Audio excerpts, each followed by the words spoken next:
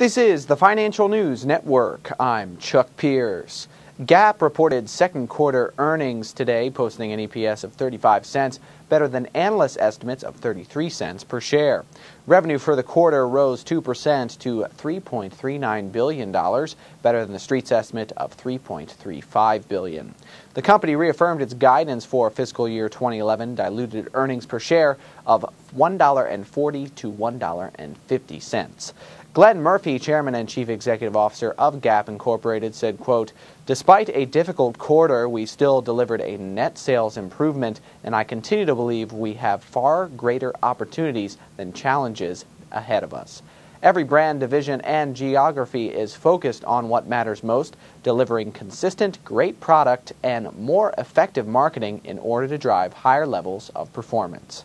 For more earnings updates, stay tuned. You're watching the Financial News Network. I'm Chuck Pierce.